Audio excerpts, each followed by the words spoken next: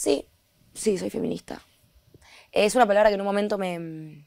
Como que al principio decía, ¿qué onda ahora todas? Creo que a muchas nos pasó, son todas feministas. ¿Qué pasa? Como que primero lo veía como, ¿qué onda? Y después me di cuenta que me interpelaba más de lo que creía. Siempre hablar de feminismo es como polémico, ¿viste? Hay mucha gente muy enojada con la palabra, me parece. Yo creo que se enojan porque lo ven quizás como yo lo veía antes, ahora se suben todas a la moda, el pañuelito y no sé qué. Y nada, con el tiempo me di cuenta que me interpelaba mucho, solamente que no lo veía en todas las cosas de la vida en las que el machismo me, afectaba. Y hoy me sigue afectando, obvio. Pero nada, cosas de la cotidianidad en todo sentido. Por ejemplo, hay algo muy chiquitito que yo siempre lo veo.